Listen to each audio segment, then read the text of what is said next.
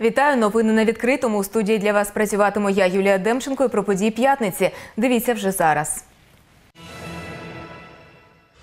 Дніпропетровщина поки тримається в помаранчевій карантинній зоні, але ситуація погіршується щодня. За попередню добу в області зафіксували 1178 ковідних хворих. Другому етапу реформи рік, що змінилося за цей час для медзакладів Дніпропетровщини, з'ясовували журналісти відкритого. У Дніпрі відроджують кобзарське мистецтво. У приміщенні Дніпровської просвіти працює майстерня, де створюють прототипи стародавніх музичних інструментів. 13-річна Тетяна Афанасьєва та 12-річна Анна Загоровська з Кам'янського отримала звання майстрок спорту України з плавання. Експерти кажуть, у цьому віці такі відзнаки рідкість. А тепер про це і не тільки більш детально.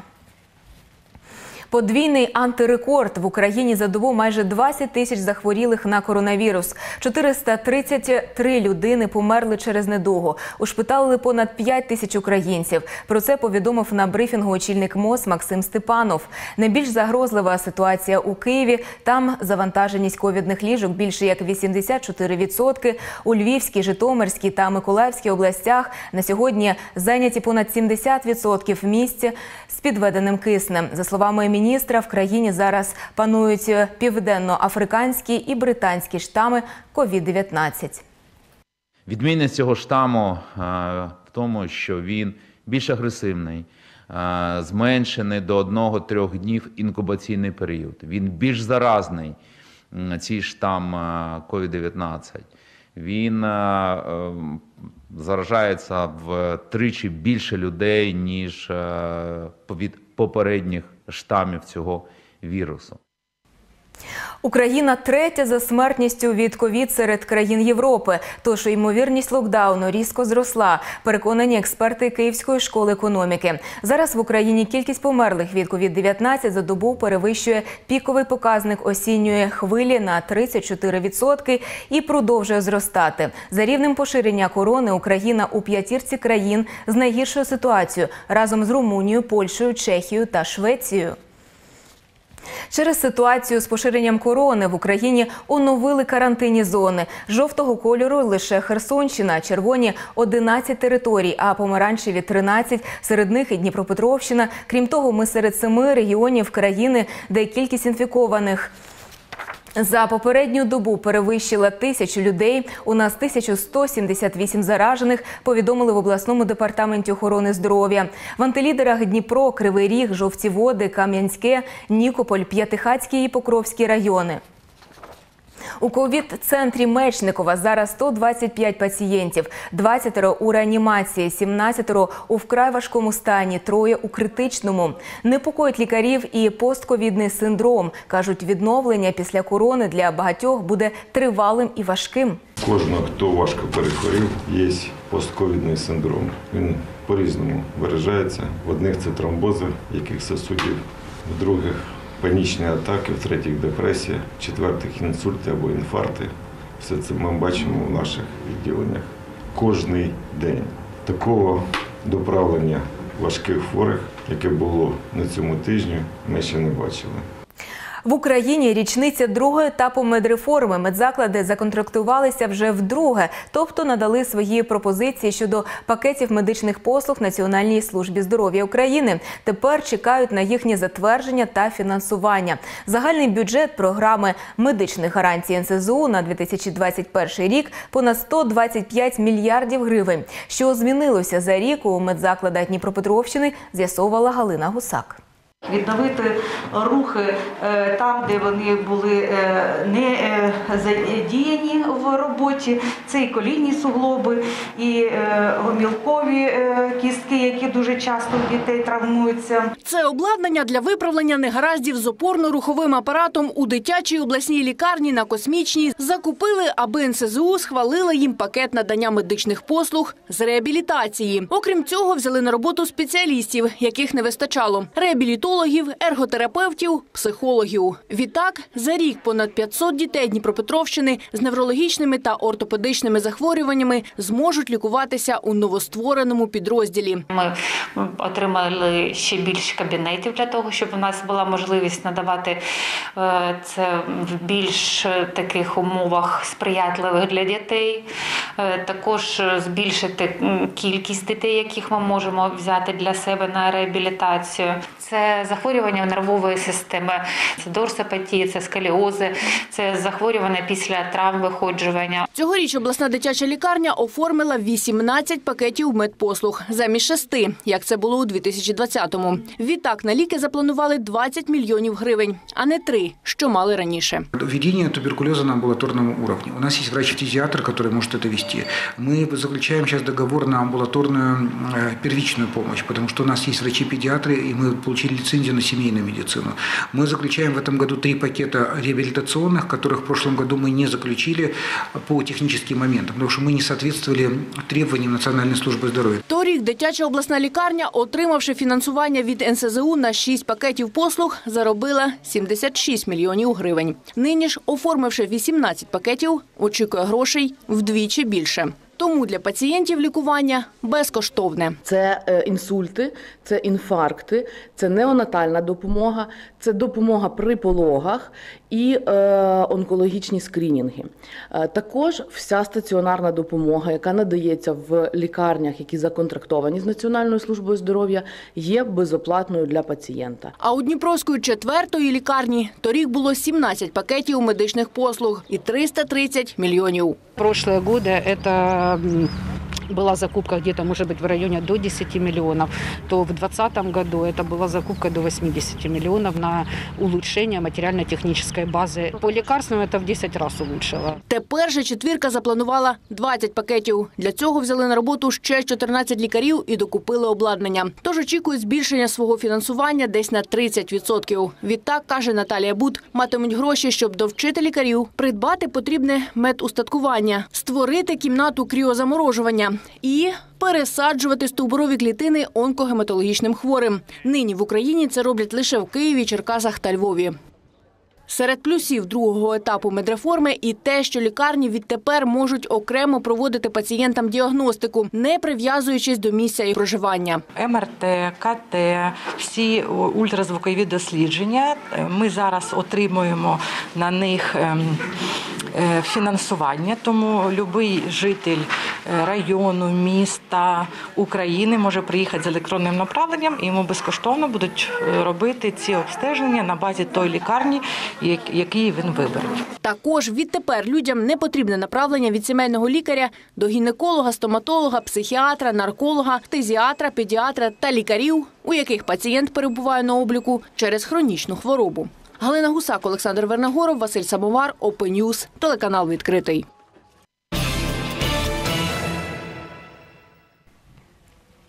Вперше за 20 років на трасі Кам'янське-Шульгівка стартували ремонтні роботи. На дорогу чекає масштабне оновлення. Вона перша у цьогорічному списку на реконструкцію серед регіональних шляхів Дніпропетровщини. Коли планують завершити роботи, розкажуть наші журналісти.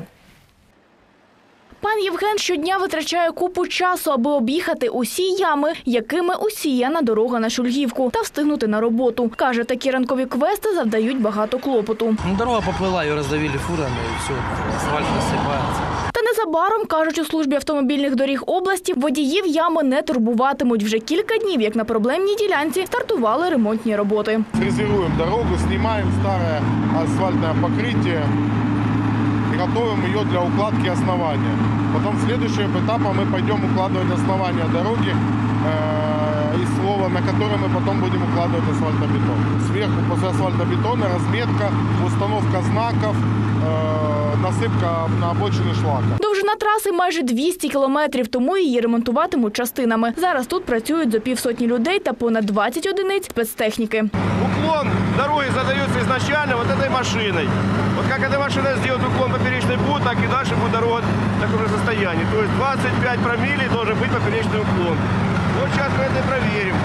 Все четко, Автошлях Кам'янське-Шульгівка збудований ще у 70-х роках минулого століття, але за майже як півстоліття бачила хіба що ямковий ремонт. Капітальне оновлення дороги роблять вперше за багато років. Всі роботи коштом державного бюджету. Було дуже багато звернень щодо цієї дороги, і ми в цьому році вперше приділяємо багато уваги е, територіальним дорогам. До цього у нас проходили так званий ямковий ремонт е, таких е, дорог доріг.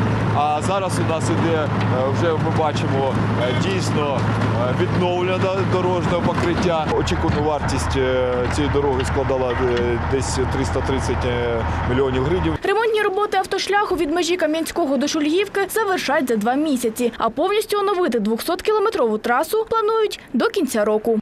Дар'я Пшнична, Роман Івашинов, Open News, телеканал відкритий. Пункт прийому вторсировини у підвалі зорганізував дніпрянин Олександр Гречка. Сміття чоловік збирає понад рік, приймає його в приміщенні в одній з багатоповерхівок житломасиву Тополя. Там для кожного виду відходів облаштував спеціальні баки. Частину сміття відправляє на утилізацію, іншу на переробку, а гроші, що заробляє на сортуванні, витрачає на благоустрій самого підвалу та під'їзду будинку. Спочатку сміття треба ретельно вимити, потім відсортувати його за видами. Так дніпрянин Олександр Гречка інструктує кожного, хто завітав до пункту вторсировини. Після цього відходи складають у спеціальні баки. Вроде бы как они не отличаются по виду и всему, но это разное сырье, и оно по-разному перерабатывается, и потом э, доб- э, об- обратно в продукт переводится.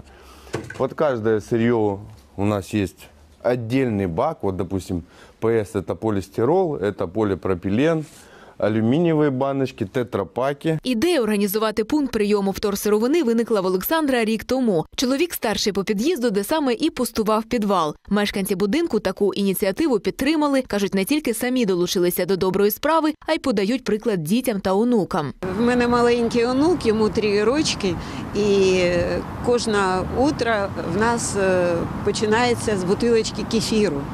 От. І тому в мене цих бутилочок е, накопичується дуже багато. І м, не, не знаєш навіть, куди їх дівати. Мы сдаем сюда э, ну, стекло, пластик, э, макулатуру. Это то, что люди выбрасывают в мусорные баки. А так э, есть э, достойное применение.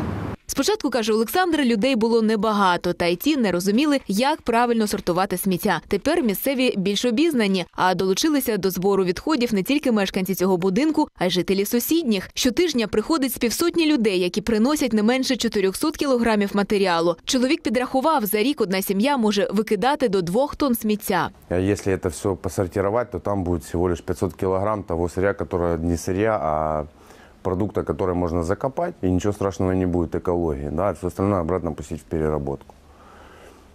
И мы немножко облегчим жизнь нашей планете. Сміття тут приймають щонеділі з 10 до 12. Більшу частину відходів чоловік відправляє на утилізацію, а скло, пляшки, макулатуру та алюмінієві банки здає за гроші. На цьому заробляє понад 2 тисячі гривень на місяць. Кошти витрачає на дрібні ремонти в під'їзді та облаштування пункту прийому вторсировини. Іванна Павлова, Open телеканал відкритий. Вони не одні. У Дніпрі відкрили центр для жінок, постраждалих від домашнього насильства. Називається Мамине щастя. Раніше у приміщенні працював шелтер, який теж допомагав жінкам. Тепер його відремонтували міським коштом. Для безпеки встановили е, сталеві двері, а всередині є тривожна кнопка. Коштом фонду ООН придбали меблі, побутову та комп'ютерну техніку. У притулку протягом трьох місяців постраждалим жінкам допомагатимуть адаптуватися до нормального життя психологи, сприятимуть в оформленні соцвиплат і проходженні медобстеження. Усе конфіденційно. Відділення поки розраховане на 10 місць. Щоб отримати поміч, потрібно звернутися на 102 або до бригад соціально-психологічної допомоги за номером 056 785 73 60. За последний год вдвое участились обращения женщин в милицию на номера мобильных бригад в центры социальных служб, и как будто бы актуальность этого центра очень высокая.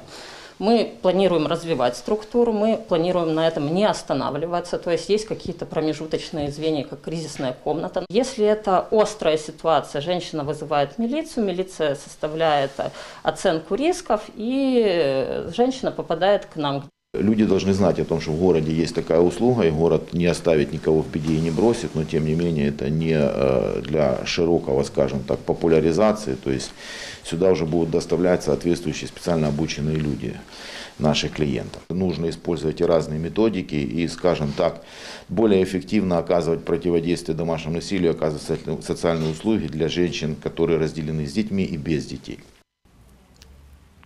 Без чер та пересадок до центру у Таронському соціальні та адмінпослуги вже більше ніж півроку отримують в одній будівлі по вулиці Старий Шлях 5.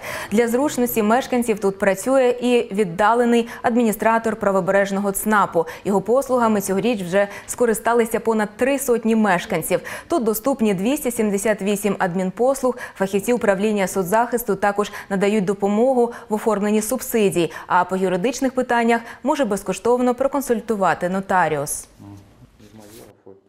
Це дуже зручно для мешканців, також для правобережного управління соціального захисту населення, так як зменшується кількість відвідувачів, тобто зменшується черга, послуга стає більш доступною і надання є більш якісне. Я коли приїхала, подавала документи хвилин 15, ма- та сьогодні також хвилин 5. Дуже швидко та комфортно для мене. Допомога тільки через банк. Від 1 квітня в Україні допомогу родині померлого пенсіонера видаватимуть, як і раніше, у вигляді виплат на поховання та неотриманої пенсії, але виключно через фінансові установи, повідомляють у Мінсоцполітики. Тому, крім документів, що засвідчують особу та її смерть, тепер необхідно додавати і реквізити банківського рахунку. Такі операції здійснюватимуть 42 банки. Їхній перелік можна знайти на сайті Пенсійного фонду України. Якщо ж банківського рахунку в родичів немає, кошти можна отримати через Ощадбанк.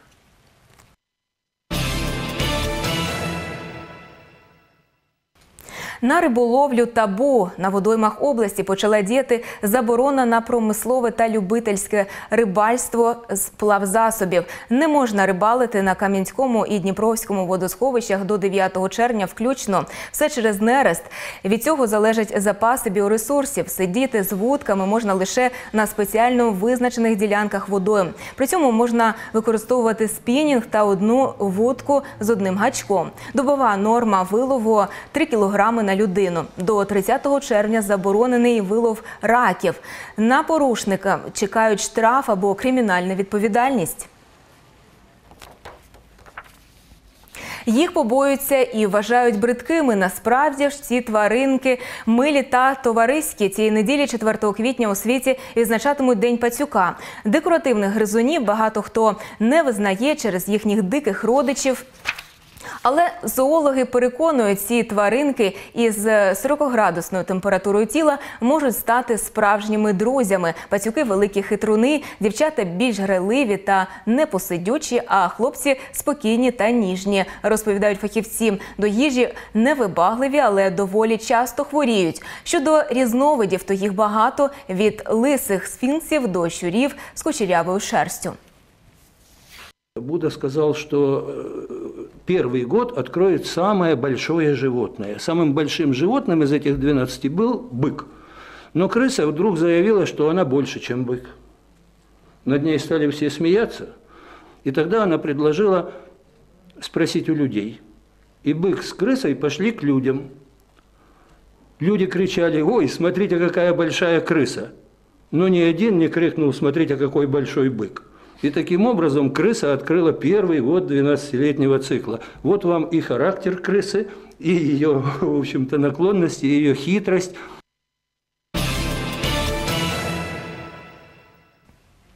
Кам'ячанки Тетяна Афанасьєва та Анна Загоровська отримали звання майстерок спорту України з плавання. Фахівці кажуть, такі результати в їхньому віці рідкість, але все можливо, якщо ставити чіткі цілі та наполегливо тренуватися. Наразі у юних спортсменок є нова амбітна ціль, яка знає наша Дар'я Пшенична. 15 років тренувань на двох. У Кам'янському юні спортсменки Тетяна Фанасєва і Анна Загоровська отримали звання майстерок спорту з плавання. Свідоцтва їм вручив очільник міста. Для нашего города это тоже очень важно, что благодаря вот таким вот спортсменам, как вы, о нашем городе знают далеко за его пределами. Поэтому давайте. Да. 13-річна Ганна тримає у своїх руках результат восьми років наполегливих тренувань. Дівчина зізнається, виконати норматив було нелегко. Чтобы получить м, мастера спорта, мне пришлось проплыть 200 комплекс за 2.26. Я очень переживала перед стартом. М, Это было очень сложно. А от Тетяні лише 12, і зараз вона наймолодша майстерка спорту з плавання за всю історію Кам'янського. Проте невиснажливі тренування для юної плавчині найскладніше. Випробування для неї інше. Но есть много сладкого, потому что вес это тоже очень большое значение, и как бы надо себя держать в форме, и должна быть большая сила воли. З початку 2021 року на чемпіонатах України дівчата вже встигли завоювати медалі різного гатунку. В їхній загальній скарбничці сім золотих, п'ять срібних та дві бронзові нагороди. Все це результат щоденних наполегливих тренувань та нестримного бажання підкорювати нові вершини, говорить їхній тренер. Тепло становится, мы бегаем, мы бегаем в балках, мы бегаем в лесу, мы бегаем на стадионе, на Прометее. Э, Мы плаваем в двух бассейнах, я так же само разнообразие. Утром в в коротком бассейне, вечером в длинном. Главным и самым основным в, нашем, в нашей работе это является техника плавания. И оттачиваем, оттачиваем, оттачиваем наши элементы. И э, благодаря этому вот 12 лет, а мы уже на такой, 12-13 лет, а мы уже на такой высоте. Анна Загоровська і Тетяна Афанасьєва ще дуже юні, кажуть в управлінні молоді та спорту Кам'янської міськради. Але про них вже знають і говорять у багатьох країнах. А завдяки їхнім успіхам дізнаються і про місто, де вони тренуються. В этом году мы решили завести такую новую традицию, встреча с мирским головой наших э, ведущих спортсменов, э, спортсменов, которые добиваются высоких результатов на чемпионатах Украины, получают звание мастера спорта Украины. И, можно сказать, первыми, кто у нас добился таких вот высоких результатов, это наши пловцы. Тренер дівчат каже, отримані відзнаки для плавчинь багато означають. Проте вони вже поставили перед собою інші цілі. За три роки хочуть стати олімпійськими чемпіонками. Дар'я Пшенична, Роман Івашинов, Open News, телеканал відкритий.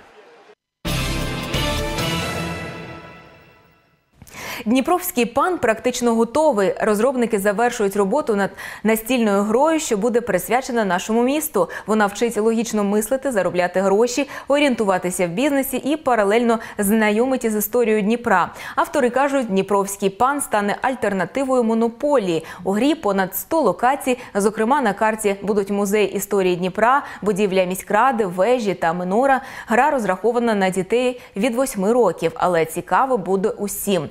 За прямокутником можуть одночасно грати від 2 до 5 гравців. Наразі є 12 версій гри про інші міста України. Коштуватиме гра 800 гривень. Колись ми з товаришем, я сам з Івано-Франківська, хотіли створити якийсь крутий сувенір про наше місто, яке би показало його зі всіх сторін. Зі всіх це там і його історію показати, і його сучасні моменти. І ми подивилися різні формати, як це зробити. І якось зійшлися на настільній грі, що в настільну гру можна помістити дуже багато всього. І такою була остання інформація випуску. Більше новин читайте на нашому сайті opentv.media. Не забувайте про сюжети в соціальних мережах та на нашому ютуб-каналі. А якщо маєте цікаву новину, телефонуйте на гарячу лінію 068 123 48 54. Я з вами прощаюся. Залишайтеся з відкритим і нехай щастить.